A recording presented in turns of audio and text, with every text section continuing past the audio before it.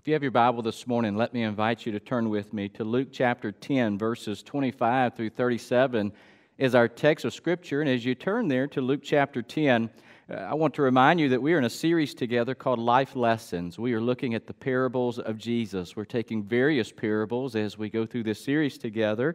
And we're asking God to speak to us as we think about these parables. Uh, you'll remember that Jesus is, is taking something that is a earthly story and he's able to connect it to kingdom principles. And so we're learning all kinds of things about kingdom life and, and also about the people that Jesus was speaking to as he lived upon the earth. But the parable that we're looking at this morning, I would say, is probably one of the most familiar parables in all the Bible. It's the parable of the Good Samaritan. And it's one of my favorite parables. I'm so glad that we have made it to this particular parable together in God's Word because God has so much to say to us. It's my prayer, it was the, the longing of Jesus that we would follow the example of the Good Samaritan. So hopefully you have found Luke chapter 10, beginning in verse 25. Our parable says these words And behold, a certain lawyer stood up and tested him, saying, Teacher, what shall I do to inherit eternal life? And he said to them, What is written in the law? What is your reading of it? So he answered and said, You shall love the Lord your God with all your heart, with all your soul, and with all your strength, and with all your mind, and your neighbor as yourself. And he said to him, You have answered rightly. Do this, and you will live. But he, wanting to justify himself, said to Jesus, And who is my neighbor? Then Jesus answered and said, A certain man went down from Jerusalem to Jericho and fell among thieves, who stripped him of his clothing, wounded him, and departed, leaving him half dead.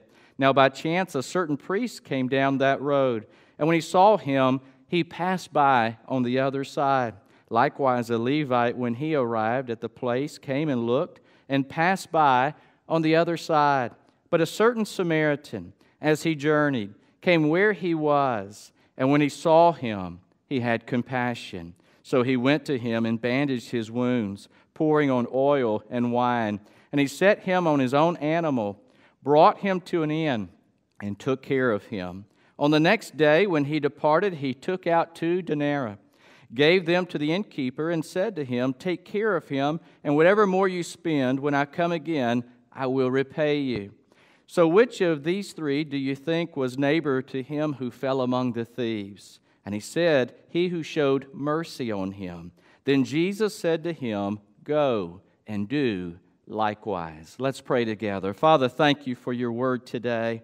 Thank you for this parable that calls us to action. It calls us to look up and to look around and to see opportunities and needs and to do what we can through your power to meet them. Lord, we pray that you'd speak to us as we open ourselves to you, our hearts and our minds, as we open our lives to you, God. We pray that in these moments that you would speak to us. It's our prayer. We ask it in Christ's name. Amen.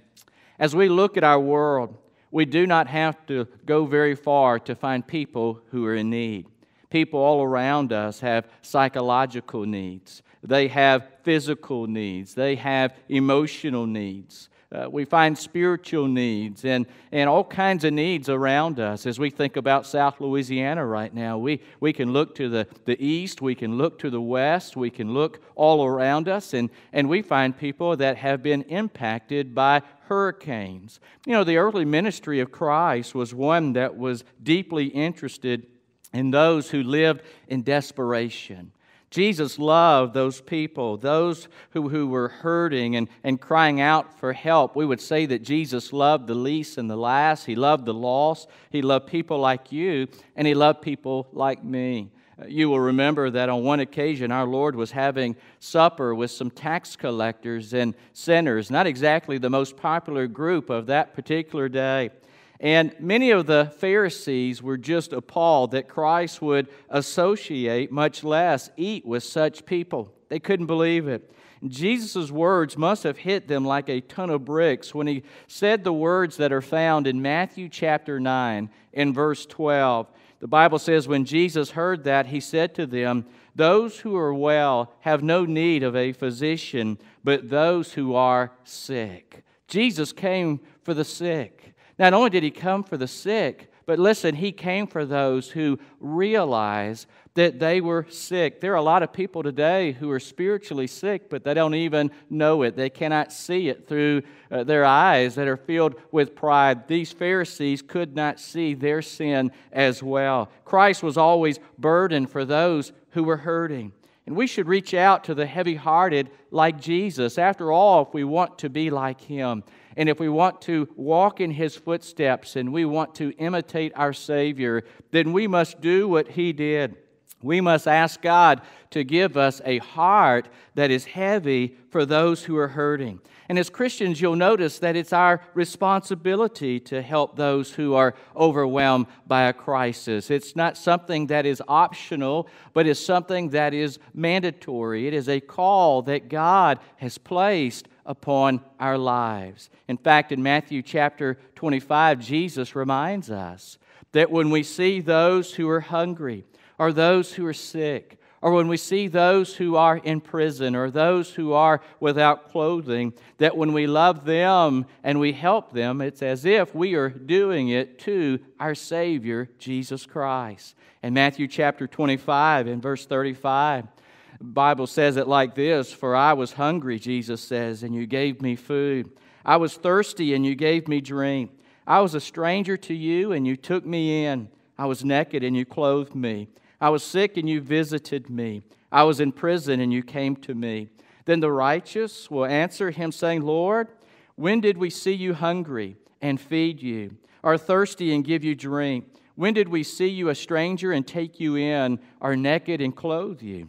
Or when did we see you sick or in prison and come to you? And the king will answer and say to them, Assuredly I say to you, inasmuch as you did it to one of the least of these my brethren, you did it to me. Such powerful words for us today. You know what I believe this morning? I believe that people aren't looking for the biggest church with the tallest steeple. I believe what they're looking for are people who take the time and the chance to love them right where they are and they help them to get where they need to be in life. And the question this morning is that you? Is that me? Could we say that's us? Is that who we are as the people of God? Well, in this parable that Jesus is speaking directly to the Pharisees. And he tells about a man who was robbed and stripped and wounded. He was left for dead.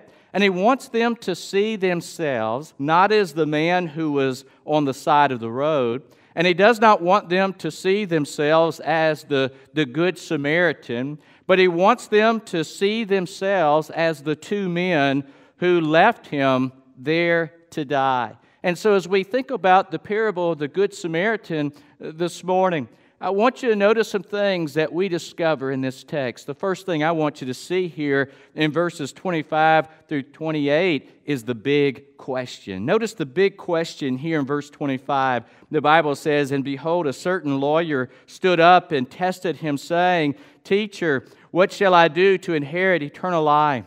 And he said to him, What is written in the law? What is your reading of it? So he answered and said, You shall love the Lord your God with all your heart, with all your soul, with all your strength, and with all your mind, and your neighbor as yourself. And he said to him, You have answered rightly. Do this, and you will live. The man asked the question this particular day happened to be a lawyer. Most people tell us he was probably a scribe. And he approached Jesus about salvation, but most scholars believe that he had ulterior motives. He probably heard Christ teach, and he decided to ask him a question to try to make him stumble. We see that throughout God's Word where different religious leaders would try to make Jesus stumble. It's interesting, you didn't really see that much among the, the non religious crowd. It was always the religious crowd that was trying to get Jesus to, to stumble along the way. But can I say today, you cannot make the, the Son of God stumble in his theology. Christ used this as a teaching lesson because in many public places, this was a hot topic that was highly debated and discussed. Jesus sent this expert of the law back to the law, not because the law saves, but because the law reveals and the law convicts. In Galatians chapter 2, verse 16, the Apostle Paul is writing to to those believers in Galatia. And he says, Knowing that a man is not justified by the works of the law, but by faith in Jesus Christ. Even we have been believed in Christ Jesus that we might be justified by faith in Christ and not by the works of the law. For by the works of the law, no flesh shall be justified. The law is simply a mirror that points us to the grace of God. Jesus knew the heart of this man, just like he knows your heart, just like he knows my heart. And he had been disobedient to these great commandments that he mentions. He knew them in his head, but he failed to follow them with his heart. You see, he had quoted them with his lips, and they, they flowed easily uh, uh, out of his mouth, but he never expressed them with his life. Sounds like a lot of Christians today. He had them memorized, but, but they were not lived out through the power of God.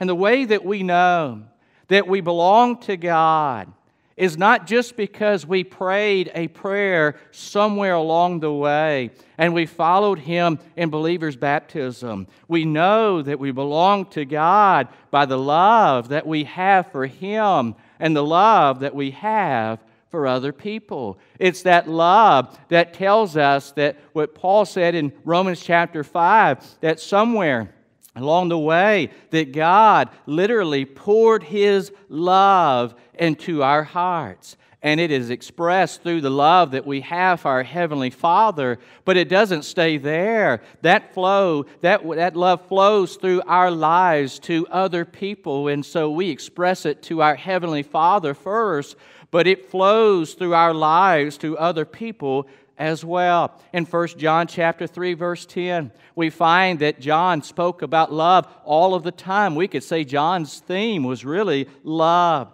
And in 1 John 3:10, the Bible says, "In this the children of God and the children of the devil are manifest. Whoever does not practice righteousness is not of God, nor is he who does not love his brother." Do you realize that the term love your neighbor as yourself is found several times in the Bible. In fact, eight different times you will find this phrase. The lawyer used an old debating tack when he said, Define your terms. You'll notice what he says. Uh, Who is my neighbor? Look what he says here in verse 25 of Luke chapter 10. And behold, a certain lawyer stood up and tested him, saying, Teacher, what shall I do to inherit eternal life? And he said to him, What is written in the law? What is your reading of it? So he answered and said, You shall love the Lord your God with all your heart, with all your soul, with all your strength, and with all your mind, and your neighbor as yourself. And he, speaking of Jesus, said to him, You have answered rightly. Do this, and you will live. You'll notice that Jesus hit him right in the heart because many of the Jews were known for only accepting Jews. They had a very small circle, and they would not accept anyone outside of that circle. They would often say something like this Thou shalt love thy neighbor, except all Gentiles, for they are not our neighbors, but those only that are our nation and religion. That was their, their motto. That's what they lived by. You know, the same narrow mindedness is alive today. Uh, may God break us of this and help us to see that, that everyone is our neighbor, no matter where they live or, or, or where they may reside. That even those who are different than us, whether it's a different religion or whether they live in a different part of the world, it does not matter. God wants us to realize that we are to love our neighbor as ourselves. Notice the big question. But also, we find the big test, don't we? Because in Luke chapter 10, look at verse, nine, uh, verse 29 rather through 35. The Bible says, But he, wanting to justify himself, said to Jesus, And who is my neighbor? Then Jesus answered and said, A certain man went down from Jerusalem to Jericho, and he fell among thieves, who stripped him of his clothing, wounded him, and departed, leaving him half dead.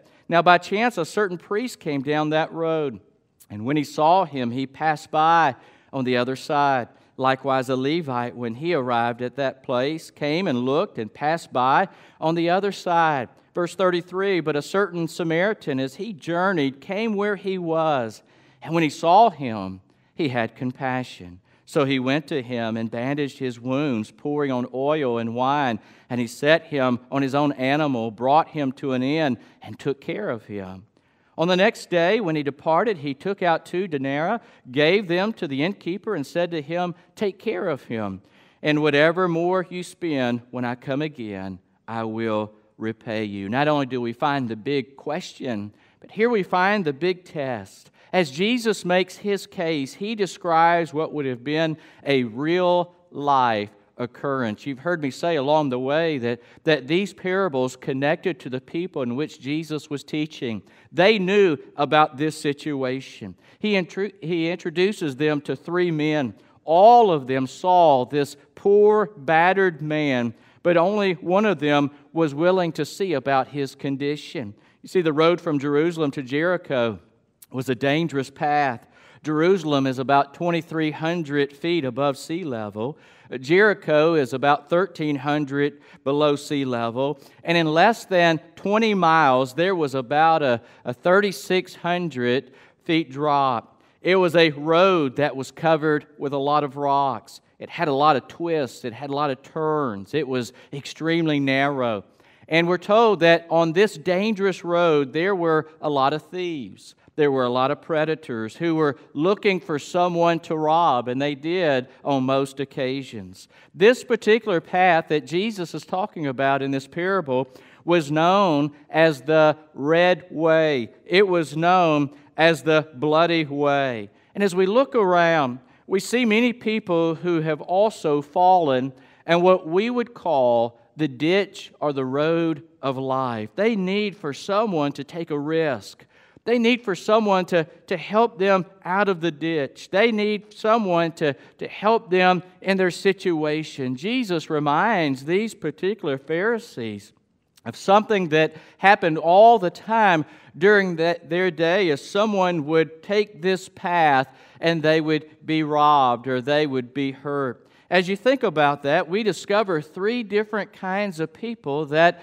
that saw what had taken place. We, we see them going on this particular journey, yet only one of them does something about what they have seen. Only one of these men helped this poor man he was the least likely. You'll notice that he was not the, the priest that is mentioned here in this parable. You would have thought that the priest would have at least stopped and, and checked on him. It was not the, the Levite. He continued on his own path and, and he probably saw him, but he didn't, he didn't do anything. It was a Samaritan. A Samaritan, the least likely of all three, was the one who stopped and he helped him. I want you to look in our text this morning how extensive his care was of this particular man. Look at verse 34 here in Luke chapter 10. The Bible says, So he went to him and he bandaged his wounds, pouring oil and wine, and he set him on his own animal, brought him to an inn, and took care of him. On the next day, when he departed, he took out two denarii, gave them to an innkeeper, and said to him, Take care of him, and whatever more you spend, when I come again, I will repay you. I want you to think about how wonderful his hospitality was to this particular person who had been hurt, who had been beaten, and who had been left there on the side of the road. I want you to see the, the big tests that God has given to us. Whenever I was in seminary, my very first semester, my very first class that I took uh, was one on the parables of Jesus. That's really the class that gave me a heart for, for the parables that, that Jesus taught. And one of the exercises in, in that class was that we had to rewrite uh, the parables, but we had to rewrite those parables in our own words you know, to apply it to today, something that would happen. And I had the privilege of actually rewriting this particular parable. Not that it needs to be rewritten, uh, but a modern day parable may go something like this. Uh, when there was a woman who was traveling from Washington to Richmond who had a flat tire, Uh, she was stranded on the side of the road. And after raising the hood of her SUV and, try, and tying a white scarf to her radio antenna, she locked the door handles and sat in the car and she prayed that God would send help. By chance, there was an extended cab pickup truck that came by and it had a bumper sticker that said, Smile, God loves you. And when the driver saw the stranded woman, he passed by in the far lane. And there was another family that came by. They were in a brand new Yukon. They had a bumper sticker. It read, Honk if you love Jesus. And they also drove around the lady when they saw her. But finally, there was a young man. He was in his early 20s. He was traveling back to college after being home for the weekend, and he drove an old car. He had no bumper sticker on, the, on, the, on his car. He stopped and he offered to change the lady's flat tire. He took out the spare. He jacked up the car. He removed the, the flat tire and he replaced it with the spare. And when he finished, the woman tried to pay him, but he refused the money. He then returned to his old bumper sticker less car. He smiled, he honked at her, and he went his way. The question this morning is the same question that Jesus posed Which of these three was a neighbor? May God help us to be like this college student and the Samaritan who both helped when there was someone in need every single day. We probably are faced not only with the big question, but we are faced with the big test in our busy lives as we open them, our eyes, and we look around. There's opportunity after opportunity and some way to not drive on the other side of the road, but to go right where the need may be and to ask God to help us or others to help us as well to do what we can to make a difference for Jesus Christ. I want you to notice not only the big question and the big test, but I want you to notice the big command. Look here in Luke chapter 10 and verses 36 and 37. The Bible says, So which of these three do you think was neighbor to him who fell among the thieves? And he said, He who showed mercy on him. Then Jesus said to him, Go and do likewise. Jesus left no room for wonder. There was no guesswork, there was no speculation. He had proven his case, he could identify his neighbor. And I want you to see that Christ wanted him to realize that, that we must stop and help those who have fallen. The scribe and the others were guilty of being just like the priests and the Levite and not like the Samaritan. Isn't it something that Jesus was pointing the priest and the Levite to become like the Samaritan? And so it is for us today that Jesus is wanting us to see who our neighbor is, who it is that is hurting, and to follow his example as well. Jesus was speaking to them, and he speaks to us if we are guilty of such hypocrisy and sin. Because in 1 John chapter 3 and verses 17 and 18, the Bible says, But whoever has this world's goods and sees his brother in need and shuts up his heart from him, how does the love of God abide in him? My little children, let us not love in word or in tongue, but in deed and in truth.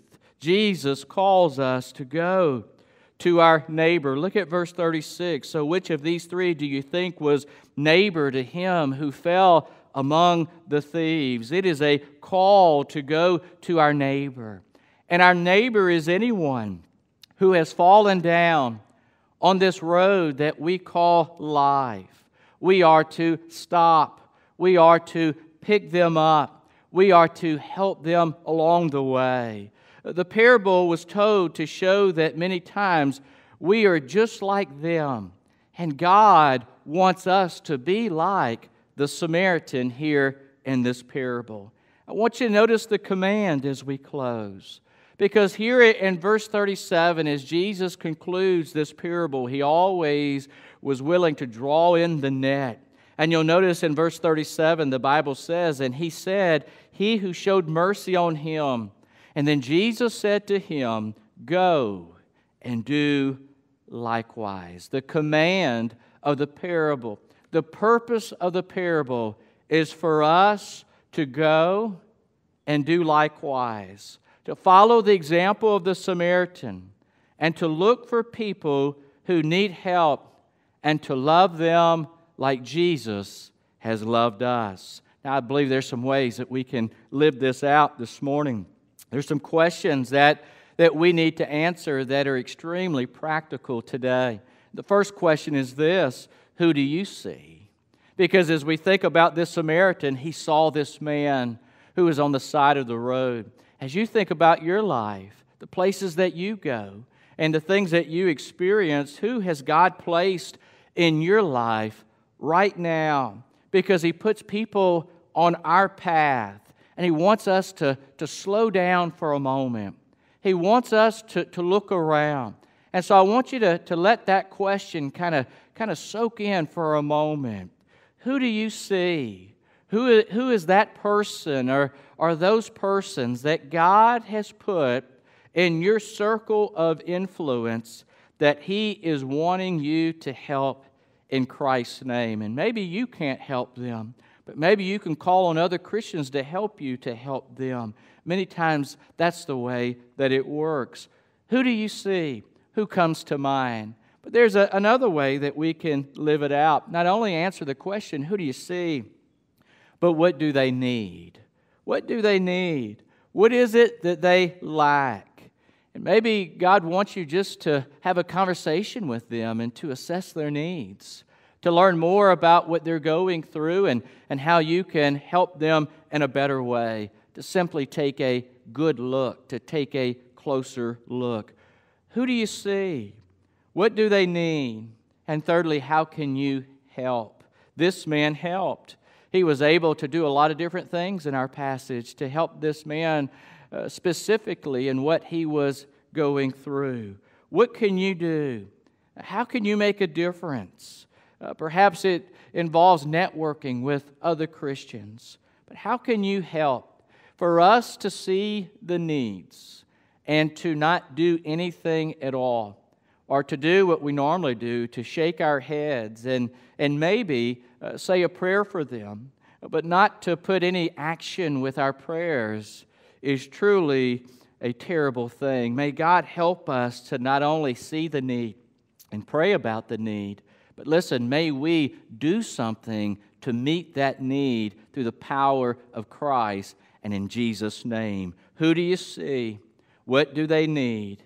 And how can you help? And This morning, as we close, I want to say to you if you have never trusted Christ as your Savior and Lord, can I say that all of us spiritually have fallen on the road uh, called life in our sins? And we cannot get up off of the ground. We cannot help ourselves. But over 2,000 years ago, a Savior came to this world. He stepped in and to help us, and He's able to lift us out of our situation. He's able to forgive us of our sins. He's able to wash them with His precious blood. He's able to do what we cannot do for ourselves. I want to encourage you to ask Him into your life to be your Savior and your Lord. This morning, if you want to, to talk to someone about your decision, I, I would love for you to connect with us.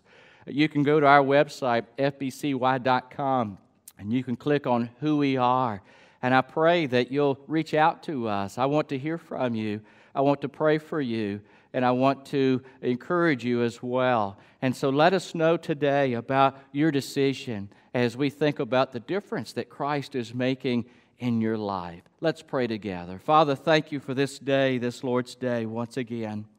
And help us to take a parable, a story that we have heard probably many, many times. And Lord, help us to hear it today, receive it today, to obey it today as if it is the very first time. Father, may we not just know about this parable uh, and to be able to, to, to tell the, the parts of it as well. But Lord, help us to heed what Jesus said to go and to do likewise. And so, Father, help us to, to know who it is that you want us to see. Help us to see their needs and help us to ask how we can help. Father, get us out of our small circle and help us as a church, as we've done so many times, to look outside of these four walls and to find needs, hear of needs, address needs, and to be the people of God, not only on this campus, but, but throughout this community.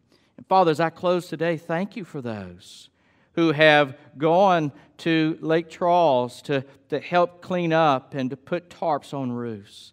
Lord, thank you for those who have gone just south of Youngsville to, to help put tarps on mobile homes. Uh, Father, thank you for those who have given recently to help a family in Youngsville that flooded. Thank you for this church that understands the powerful command to go and to do likewise. May we continue to be a people that look beyond the four walls of this church. May we be the church that goes to people as we love them in Jesus' name. We pray this in your powerful, powerful name, the name of Jesus Christ, our Savior and our Lord. Amen.